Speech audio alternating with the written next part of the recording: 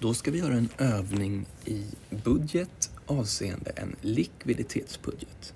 Det vill säga vi ska följa hur pengarna kommer in och ut ur företaget. Så likviditet är ju då pengarna och betalningsförmågan vi har. Och det är det vi gör i vår budget. Vi ska titta på övning två. Och här kommer vi då se att vi har en likviditetsbudget planerad. Och som det står här så ska vi då titta på perioden januari till sista mars. Beloppen är i kronor och vid ett negativt tal så skriver vi ut ett minus och vid ett positivt tal så skriver vi ingenting utan vi eh, skriver bara siffran som positiv utan plus. Alla de här frågorna eh, kan ju verka väldigt, väldigt många men syftet helt enkelt är att vi ska summera periodens inbetalningar och utbetalningar. Så det ska vi göra här nere. Vi ska summera inbetalningar för varje månad och utbetalningar för varje månad. Vad vi dock måste veta när vi börjar med en likviditetsbudget är ju vad vi har för saldo på banken månaden innan så att säga. Det vill säga vad den ingående behållningen är. I det här fallet så tittar vi för januari månad och då måste vi då veta vad saldot är på banken den sista december året innan då. Så det är det vi får fram här och det får vi alltid förtryckt. Så det kan vi ju, den informationen måste vi ha för att kunna göra en likviditetsbudget framåt. Så alla de här frågorna kommer jag inte läsa upp utan det jag gör är helt enkelt att jag fyller i eh, budgeten här och börjar med inbetalningar då. Och vi har bara en typ av inbetalning i, inbetalning i det här företaget och det är från försäljningen. Så den kan vi snabbt summera till 105 000 kronor. Sen har jag gjort en liten fuling, det vill säga jag har summerat de här kostnaderna, det vill säga utbetalningarna och redan summerat dem för varje månad. Så när ni gör uppgiften så ska ni då plussa 27 000 plus 40 000 plus 2 000 plus 1 000 plus 12 000 plus 900 plus 3 000 och plus 18 000 och kommer då få en summering på utbetalningar på 103 900. Jag har summerat det här för att det blir lite enformigt för mig att sitta och trycka på miniräknaren, de här beloppen, gång efter annan. Så de här finns inte förtryckta hos er i övningen, men de finns med i min inspelning här. Så, vad som är viktigt då i den här likviditetsbudgeten är att ta reda på hur ser betalningsflödena ut? Vad kommer hända på banken i januari månad? Ja, vi kan ju börja med att ta fram vad månadens över eller underskott blir för januari månad. Och det gör vi genom att ta inbetalningarna för januari månad på 105 000 minus utbetalningarna för januari månad som är på 103 900. Så vi tar fram miniräknaren och skriver in 105 000 kronor i inbetalningar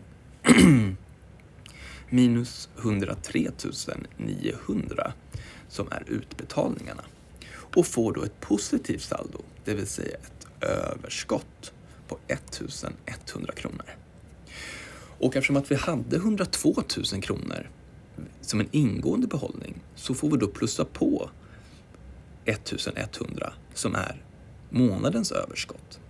Så 1100 i månadens överskott, det vill säga januari månads överskott, plus den ingående behållningen från föregående månad på 102 000.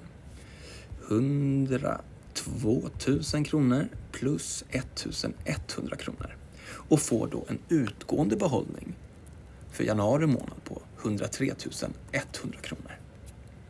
När vi har tagit fram den utgående behållningen för januari månad så kan vi direkt flytta upp den utgående behållningen för januari månad till ingående behållning för februari månad. Det måste ju vara samma belopp. Så där lägger vi in en ingående behållning för februari på 103 100 kronor. I februari då, ja där har vi inbetalningar på 201 000 kronor. Så 201 000 kronor minus summa utbetalningar för februari månad som är 129 400 och får då fram att vi får ett överskott, ett positivt saldo på 71 600 kronor. Och 71 600 kronor tar vi då med den ingående behållningen för februari månad som är 103 100 kronor. Och får då fram att vi har en utgående behållning för februari månad på 174 700 kronor. Och på samma sätt kan vi då föra över den utgående behållningen för februari till den ingående behållningen för mars till 174 700. Här kan vi dock se att vi har ganska låga inbetalningar och väldigt höga utbetalningar. Vad är det som har hänt här? Jo, vi kan se att lönerna har i likviditetsbudgeten i vår planering ökat till 200 000 kronor. Och det har att göra med den här frågan. Så vi läser frågan. Företagets verkställande direktör, det vill säga VD, frågar dig om företaget kan utbetala bonuslöner till företagsledningen under mars månad, där lönerna då kommer att stiga till cirka 200 000 kronor och betalas kontant under den här månaden. Då. Vad ska vi svara VDn? Ja, då måste vi räkna på om vi får inbetalningar på 45 000 kronor och har utbetalningar totalt sett på 261 000 kronor då kommer det leda till ett underskott, ett negativt saldo på minus 216 000 kronor. Och vi har ju bara 174 700 som ingående behållning. Så om vi då tar 216, oj, om vi då tar minus 216 000 och plussar vår ingående behållning på 174 700 så kommer vi ha ett minussaldo på banken och det går ju inte. Vi har ju inte de pengarna. Så då skriver vi in minus 41 300 kronor här. Och då kan vi då besvara frågan, vad svarar vi då VDn? Ja, här måste vi svara att nej, tyvärr kan vi inte göra en utbetalning av löner på 200 000 i mars månad då vi inte har tillräckligt likvida medel, det vill säga pengar på banken. Ett förslag här skulle kunna vara att vi minskar lönekostnaderna till 150 000.